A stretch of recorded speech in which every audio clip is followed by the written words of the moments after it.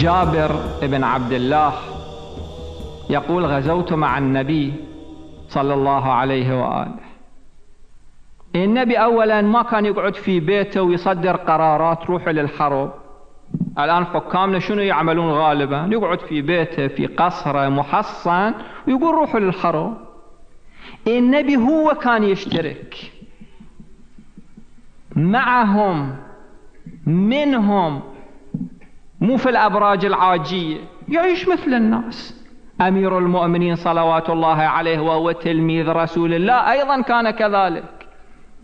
المؤرخين ذكروا أن الإمام أمير المؤمنين صلوات الله عليه ما كان يأكل اللحم في العام إلا مرة واحدة.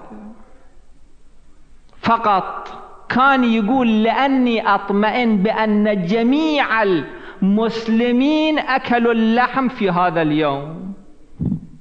إذا واحد ما ماكل لحم أنا ما أكل لحم. أكو حاكم هالشكل؟ مثل رسول الله ومثل أمير المؤمنين وهو يوم الأضحى. أضاحي يذبحون. كل المسلمين في هذا اليوم يأكلون لحم. أنا من اليوم أكل لحم. أما إذا يوم مسلم واحد ما يأكل لحم أنا ما أكل اللحم الإمام حكم الكوفة حوالي خمس سنوات ما أكل اللحم كما يقول المؤرخون إلا أربع أو خمس مرات فقط.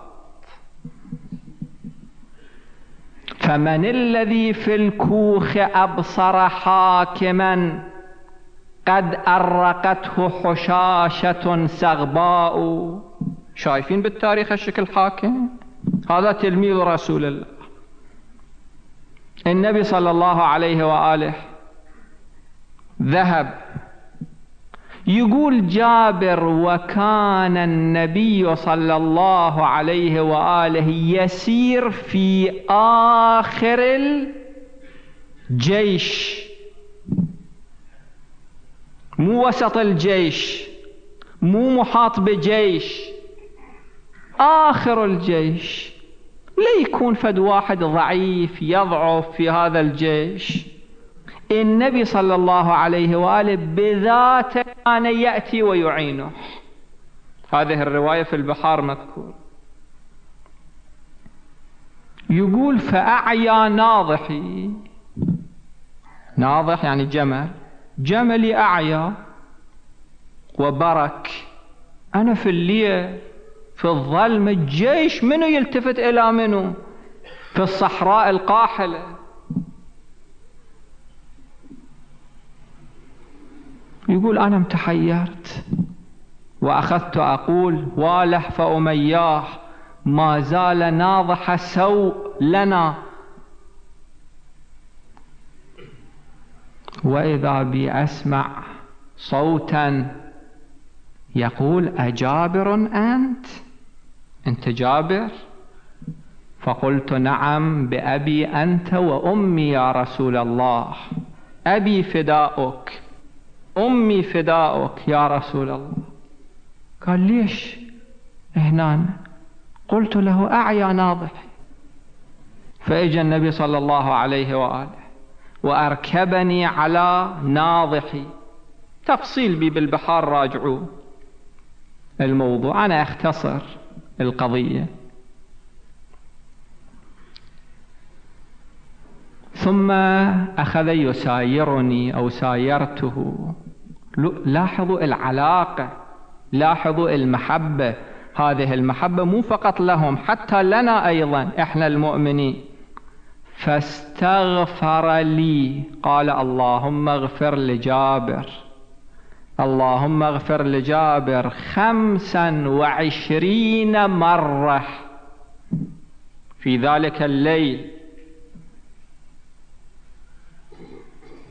ثم قال لي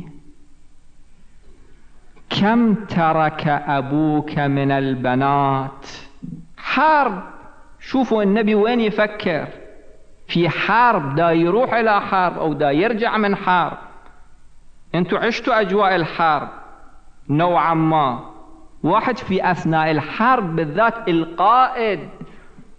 كم ترك أبوك من البنات؟ فقلت سبع. فقال عليه دين أبوك مديون. فقلت نعم. قال عندما نرجع إلى المدينة تعال أنا أساهم في أداء دين أبيك. يقول فعلا مريت على النبي صلى الله عليه وآله. تفصيل أكو في القضية. الآن ما علي بالتفصيل. فأعطاني ثمانية أواقي من الذهب وقال ساهم بذلك في دين أبيك. في الطريق إلى المعركة أو في العودة إلى المعركة يفكر أن هذا الميت مديون أو مو مديون. هذه الرحمة هذا الحرص على جميع الجوانب.